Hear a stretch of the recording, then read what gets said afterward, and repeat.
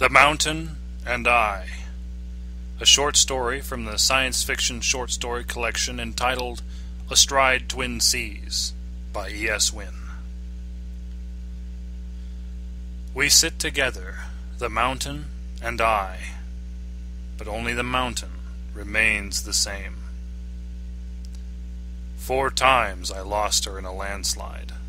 Four times I carried her broken body back to the colony, trudged bloodshod through an eternity of snow and ice just to deliver her mangled remains to a machine that would take her into its spider like embrace, rebuild her with thin sinews of nanosilk and spun muscle protein. She remembered every death, remembered each so keenly, and with every descent into sudden darkness, she grew a little more distant from me. I rest my head at the base of the mountain. Only when I slumber does the mountain move. I don't love you. She looked at me with sad eyes as the words winged slowly from her mouth. I could feel the depth in those words, solid, tangible as packed ice and frozen stone. I tried.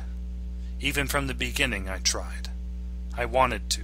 I just never felt it with you.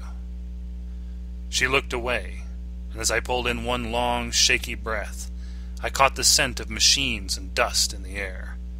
Human progress, the tilling of the alien earth around us. I never loved you, she said, and I'm tired of lying to you. A stone falls from the peak of the mountain. I am the only soul to hear its final song. When the fifth landslide takes her, I consider walking on. I stand in the snow. I stare at the fur waving at the edges of my gloves.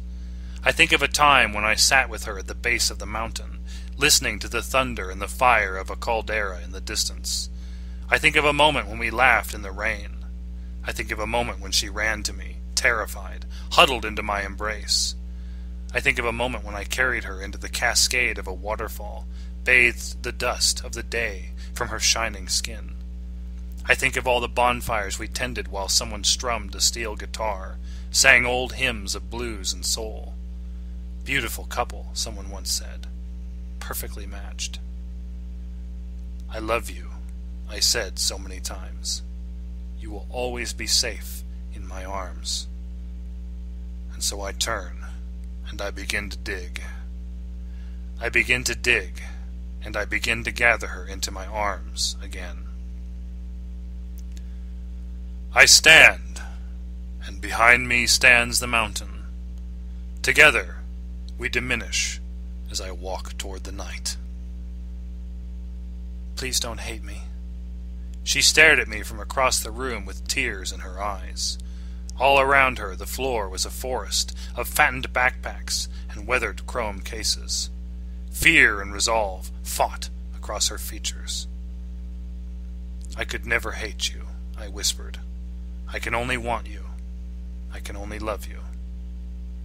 Will you move on? she asked, lip trembling. Then, I want you to move on.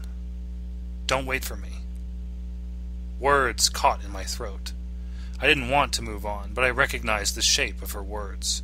She'd made up her mind and I knew I could no more change her heart than move a mountain with my touch, my words. In twos and threes, the backpacks and the cases disappeared until there were no more, until it was only she standing in the doorway, watching me.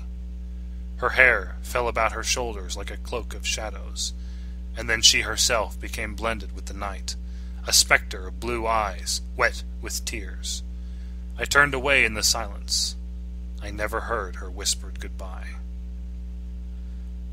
I sit with my memories of the mountain until only the memories remain.